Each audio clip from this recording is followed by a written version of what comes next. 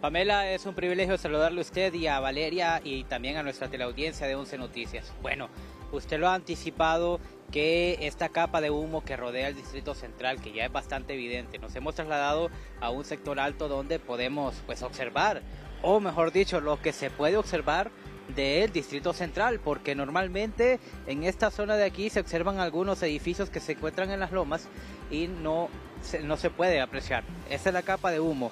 El sector de la montañita tampoco es eh, visible por esta capa de humo que está rodeando la capital. Los expertos y bueno, quienes han combatido los incendios forestales atribuyen esto a los eh, incendios, los siniestros forestales que se están dando en eh, cerca del distrito central y han acumulado esta capa de humo. Pero ¿cuáles son las consecuencias que esto está trayendo?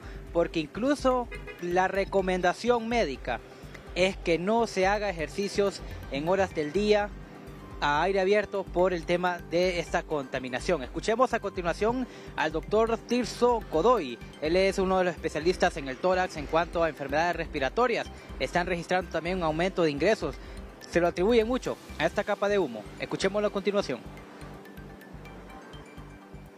Preocupados eh, ya que eh, existe un aumento de las enfermedades respiratorias.